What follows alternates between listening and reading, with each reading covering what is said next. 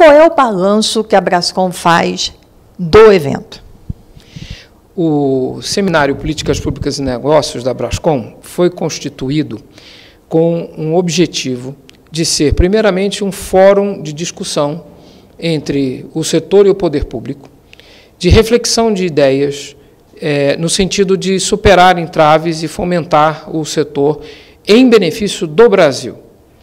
E não só um fórum de discussão, mas na medida em que a gente vai capturar essas ideias, produzir uma resenha, transformar ele também numa caixa de ressonância, para que a gente possa utilizar essas discussões, os insights, em prol da produção de políticas públicas para o futuro. Nesse sentido, acho que o evento atingiu os seus objetivos. A participação de todos foi muito efetiva, muitas perguntas, excelentes debates, com profundidade, com densidade e com diversidade de opiniões dos diversos representantes de diversos ramos que tiveram no nosso seminário.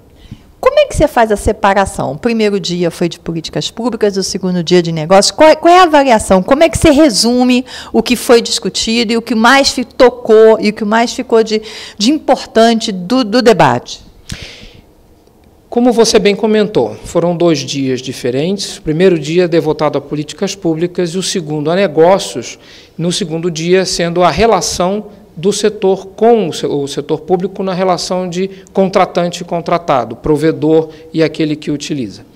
O primeiro dia, eu acho que o que saltou aos olhos foi é, um razoável consenso da necessidade de se construir políticas de Estado que tenham longevidade e alcance em prol não só do próprio setor de tecnologia da informação e de tecnologia da informação e comunicação, mas também tocando outras áreas, tais como relações laborais, proteção da privacidade e de dados pessoais, é, matérias que transcendem a própria tecnologia da informação, mas que com ela compõem um ambiente de negócios favorável para o Brasil.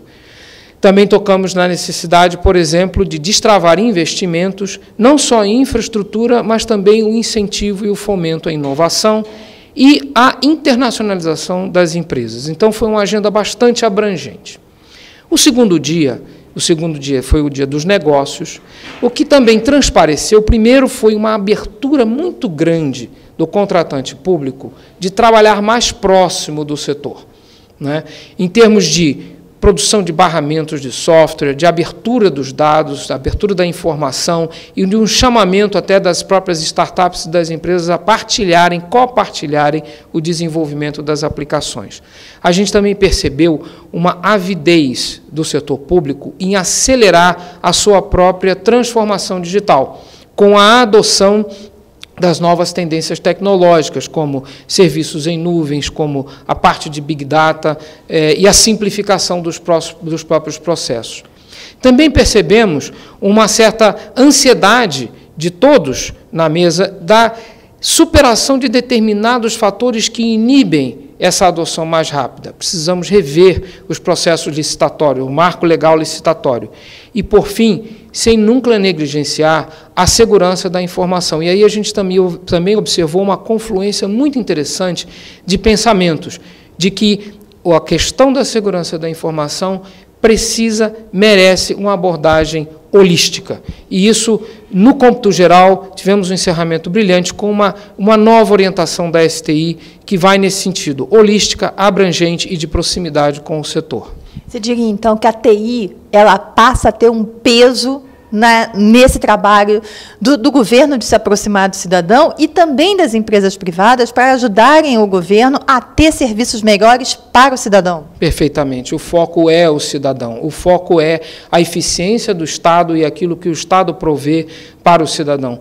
E o que ficou muito claro é a transversalidade da tecnologia da informação em todas as atividades do Estado, isso no segundo dia, nos negócios, e no primeiro dia é a transversalidade e o caráter transformacional que TI tem sobre a sociedade de um modo geral e o sistema produtivo e a economia nacional. Eu destacaria também, Ana Paula, um outro aspecto. É, nós vimos uma união muito forte do setor. Nós tivemos, é, dentro do seminário, a presença marcante da ABS e da ACESP, os seus presidentes estiveram aqui, falamos de teses, falamos de pleitos, falamos de ideias de uma forma conjunta, de uma forma em agenda comum. E isso é muito, muito relevante. Queria também ressaltar aqui e agradecer o, o, papel absolutamente essencial dos nossos patrocinadores. É, foram eles que fizeram o evento ser possível e eles trouxeram, aportaram um conteúdo muito qualificado, principalmente na discussão das novas tendências e dessa nova economia, que não é mais só do conhecimento, mas é uma grande economia é, das ideias. E destaco também a interrelação com é, a academia a presença do Instituto Federal de Brasília fazendo a primeira transmissão ao vivo do nosso evento, né, é, para todo o sistema dos institutos federais, e a presença do Centro de Estudos Sociedade e Tecnologia da USP, com os pesquisadores que vão nos ajudar a preparar uma resenha é, desse evento.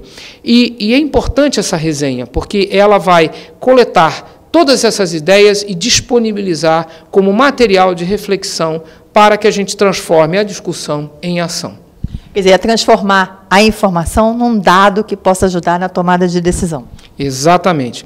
E isso abre, já adianto, um grande otimismo de todos nós, para que aquela ideia de transformar esse evento num evento perene possa vir a se tornar uma realidade.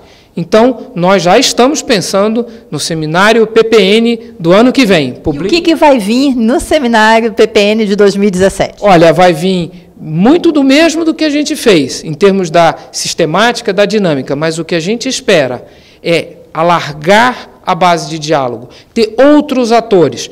Tivemos a presença expressiva do Poder Executivo, tivemos uma presença marcante do Poder Legislativo é, nesse evento, com deputados com a presença do TCU, mas temos muitos outros órgãos da Administração Pública Federal, do próprio Legislativo, das casas legislativas, do Judiciário, enfim, tem um monte ainda, um número muito grande de atores que influenciam o nosso setor e que são influenciados pelo nosso setor. O que nós pretendemos no ano que vem é fazer esse diálogo ser ampliado, mais atores, mais gente envolvida na discussão, em prol do setor, mas, sobretudo, em prol do, do, do, do país. Para que isso seja bem sucedido, eu peço a todos que estão ouvindo esse vídeo que façam os seus comentários, que enviem o seu feedback. O que, que a gente pode fazer de melhor no ano que vem? O que, que funcionou bem? O que, que foi bom? O que pode ser melhorado no ano que vem?